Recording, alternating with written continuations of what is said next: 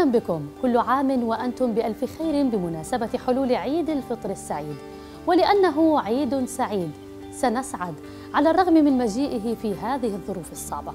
ماذا تغير في هذا العيد؟ وما هو المختلف فيه؟ سنعرض لكم آراء طلبة الجامعة الإسلامية في هذا الموضوع. أهلا بكم في حلقة جديدة ومجرد سؤال.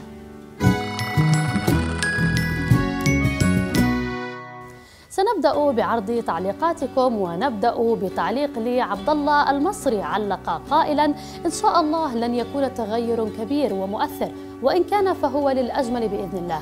نحن في فلسطين الأرض المقدسة وفي أكناف بيت المقدس.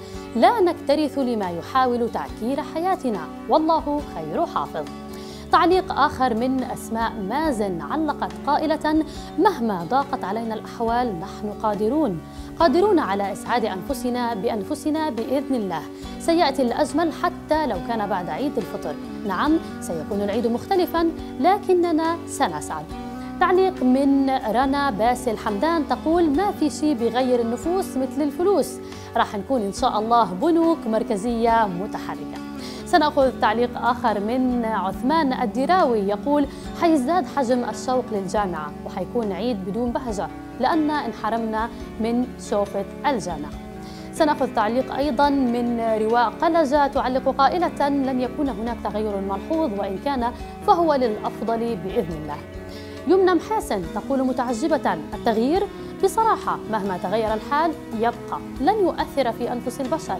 إذا لم يكن التغيير من الناس وتغيير الأنفس السيئة فلن يسمى تغييراً. نهاد مسعود يعلق قائلا الحمد لله. يكفي انها رجعت صلاتنا في مساجدنا وهذه حلاوة عيد الفطر.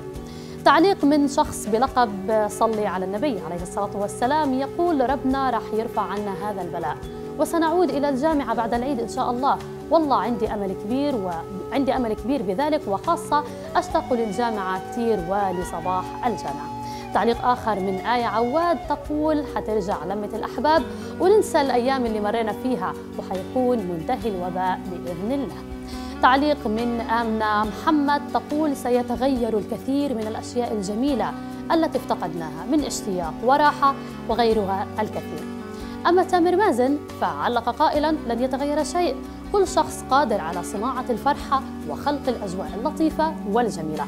عموما هذا آخر عيد في مرحلة البكالوريوس. على أمل اللقاء بكم في أعياد الماجستير والله الموفق.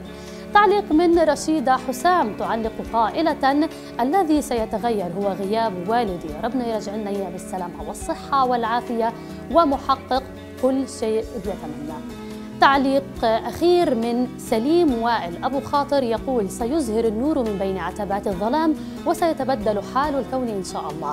من حالة الحجر إلى حالة الأمان وسنتخرج من الجامعة كانت هذه بعض آرائكم وتعليقاتكم. انتظرونا في حلقة جديدة من برنامج مجرد سؤال. تقبلوا تحياتنا وعيد مبارك لكم. دمتم بود وإلى اللقاء.